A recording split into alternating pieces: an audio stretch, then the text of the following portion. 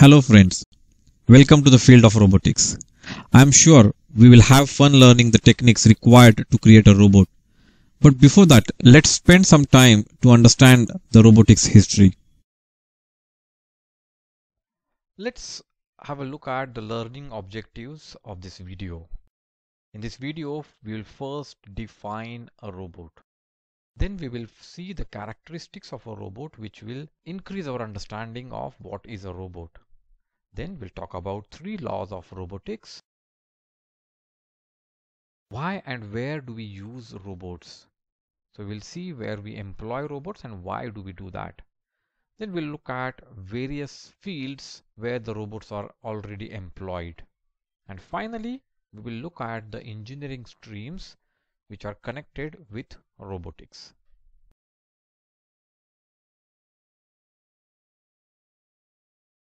The word robot comes from the Czech word robota, which means forced labor. The term robot was first used in 1921 in a play Rossum's Universal Robots. A robot is defined as a programmable machine capable of carrying out complex series of actions either automatically or through remote control. A robot often is created to help or assist humans in performing repetitive, high precision or dangerous activities. Key points to note here are the highlighted words. A machine is called a robot only when it satisfies this criteria. A robot differs from a human in that it is a machine. It does not have common sense. A human can study an action and perceive different meaning of same words, but a robot has difficulty in doing the same. Also, it cannot be expected that all robots have such common abilities. A human gets bored of doing repetitive tasks and starts making mistakes or the efficiency reduces as time passes. A robot can perform the same tasks over and over without making mistakes and at the same efficiency. A robot can do highly precise tasks at extraordinary speeds such as in electronics industry, a robot can build thousands of transistors on a very small chip. A robot will listen to all orders of its creators. Humans? a human is more likely to understand the results in advance and decide on next action, whereas a robot will only perform pre-programmed actions. A robot can perform high complex calculations with certain ease which a human being may not. Isaac Asimov in his writings described three laws of robotics. The laws guide how a robot should behave. Interestingly, as robot is what its creator designed, the laws can be assumed to be applicable to the robot design. So you should keep in mind these laws while you design a robot. Law 1 states that a robot may not injure a human being or through inaction, allow a human being to come to harm. Now what exactly it means? It is simple to understand that a robot should not injure a human being. But what does the second part of the law means? Let's take an example. Ram is walking on a road followed by Sham. Ram encounters a banana skin on the road. He jumps over the same and keeps going ahead. Now Sham, who is following Ram, does not see the banana skin and obviously result is that he slips and falls.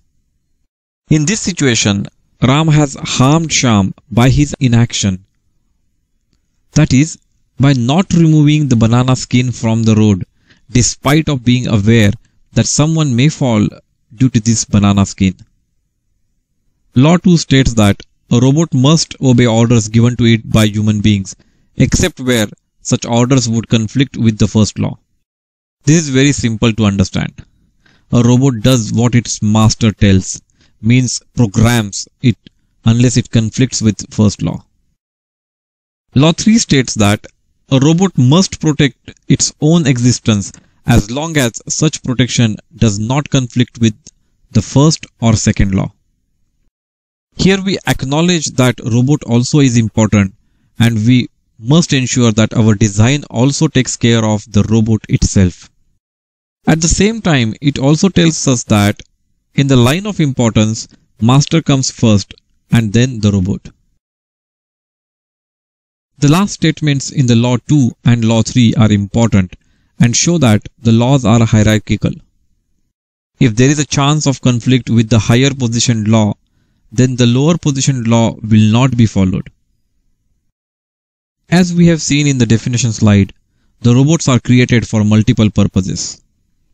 A robot is created to get rid of boring, time consuming tasks such as cleaning, washing, etc. Robots are also employed when there is danger involved, such as working in high temperatures, high pressures, or high altitudes.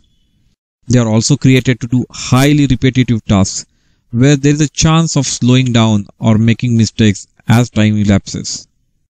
Robots are also extensively used in performing activities that seek high precision.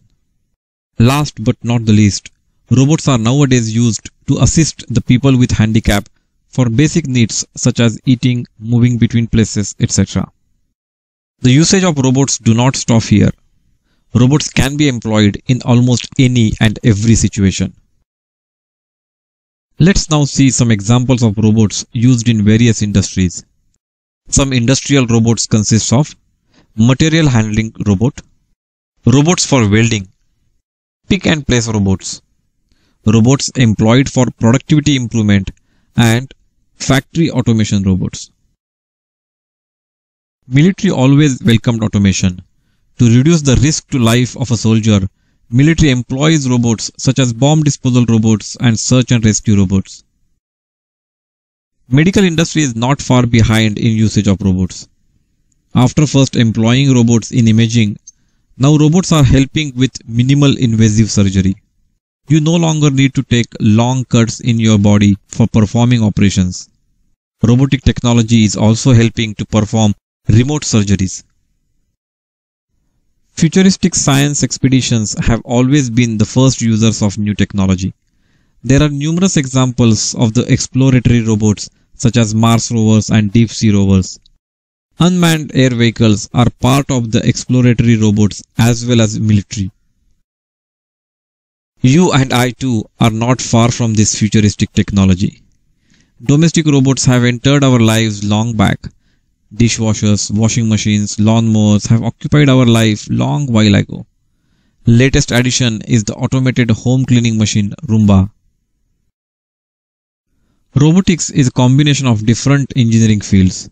The construction of a robot uses mechanical engineering.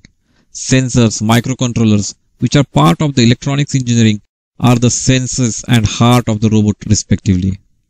More than 80% of the robots are powered by electricity and need knowledge of electrical engineering for designing the power source. Finally, the computer engineering seals the pack by programming the robot to perform the required functionalities. In this video, we first defined the robot. We then talked about various characteristics of a robot which increased our understanding of what is a robot. Then we looked at three laws of robotics which actually are the laws for the robotics designer.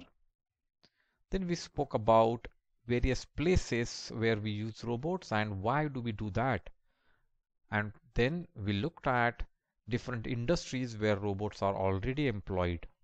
And finally we looked at the engineering streams which are connected with robotics.